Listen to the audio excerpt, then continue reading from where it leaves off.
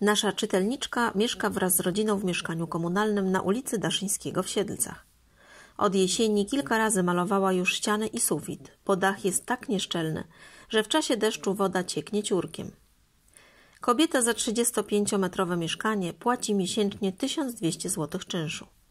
Nie zalega z opłatami i chciałaby mieszkać w godziwych warunkach. Interweniowała już w STBS-ie i w Urzędzie Miasta, ale wszędzie słyszy, że na remont nie ma pieniędzy. Czy jest szansa na rozwiązanie tej sytuacji? Przeczytajcie artykuł Justyny Janusz. Pomalowanie nie wystarczy. Mężczyzna korzystający z parku wodnego w Siedlcach twierdzi, że do męskiej szatni w akwaparku wchodzą ojcowie z dziesięcioletnimi córkami.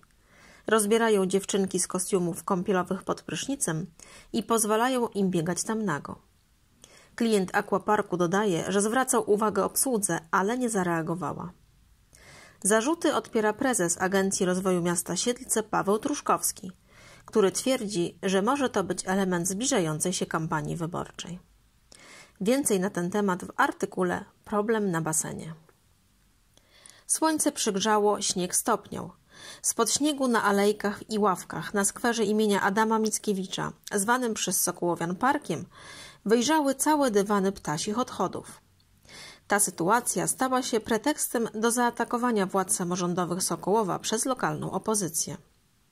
Czy tak w Sokołowie Podlaskim zainaugurowano kampanię, na razie przedwyborczą? O sprawie pisze Milena Celińska.